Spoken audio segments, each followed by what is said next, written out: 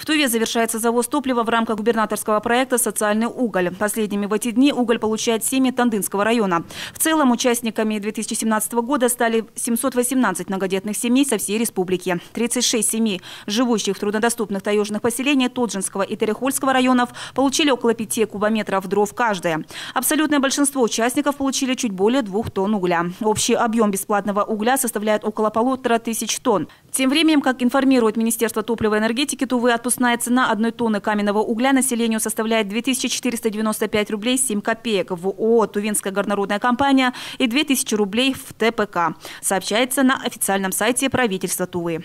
О курсах валют доллар стоит 58 рублей 8 копеек, евро 67 рублей 53 копейки.